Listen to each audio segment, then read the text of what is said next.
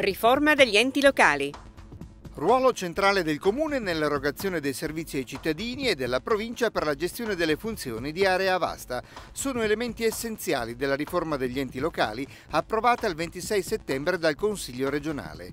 La nuova legge recepisce le indicazioni del decreto 95-2012, cosiddetta Spending Review, che obbliga i piccoli comuni alla gestione associata delle funzioni fondamentali e consente il superamento delle attuali comunità montane a favore dell'Unione dei Comuni Montani. Seduta sull'occupazione. Il 26 settembre si è svolta in mattinata una seduta straordinaria sulle prospettive dell'occupazione in Piemonte nel settore automotive.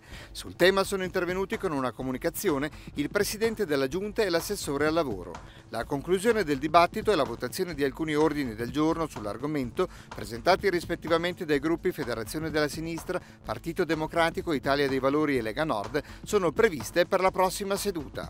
In Piemonte con gusto. L'enogastronomia come eccellenza, difesa della qualità e opportunità di sviluppo è il tema di copertina del nuovo numero di Notizie, la rivista della Regione Piemonte da pochi mesi rinnovata nella grafica e nei contenuti. Il cibo, fra ricerca, tradizione ed economia, è anche al centro del convegno In Piemonte con gusto, tenuto a Palazzo Lascaris il 27 settembre, con la presentazione dei servizi di attualità e approfondimento del numero 3 del magazine Notizie. Riflettere sulla piaga dell'usura.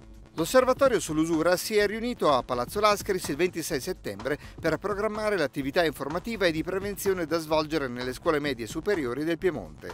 Nella stessa giornata il consigliere Tullio Ponso, delegato all'osservatorio, è intervenuto a Torino presso le officine Grandi Riparazioni all'incontro con gli studenti per riflettere sulla piaga dell'usura e per assistere alla proiezione del documentario Vite da recupero di Enrico Verra. Storie di principi a Palazzo Lascaris. Sono state presentate le autobiografie di Maria Pia di Savoia e Michel de Bourbon-Parme, La mia vita, i miei ricordi e Un principe nella tempesta.